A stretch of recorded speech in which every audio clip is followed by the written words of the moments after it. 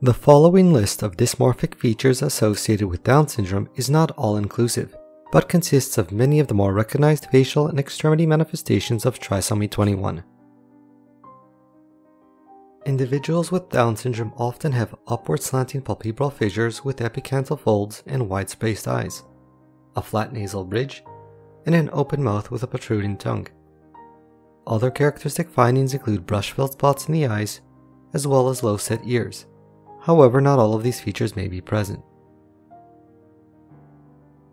Another very characteristic finding is the presence of a single transverse palmar crease.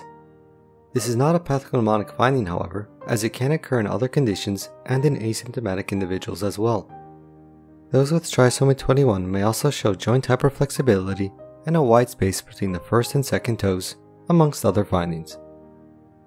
These are some of the more common external dysmorphic features in patients with Down syndrome. It is important to keep in mind that many other internal malformations and comorbidities may also be present.